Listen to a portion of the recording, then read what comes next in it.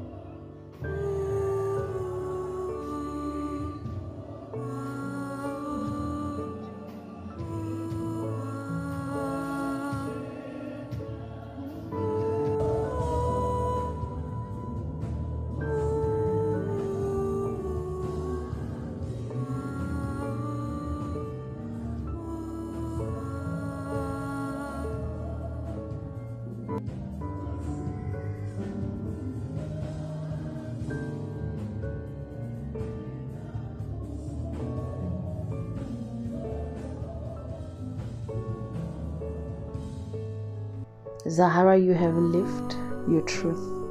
You have always been true to yourself. Your words, your songs have inspired many people today. Rest in peace.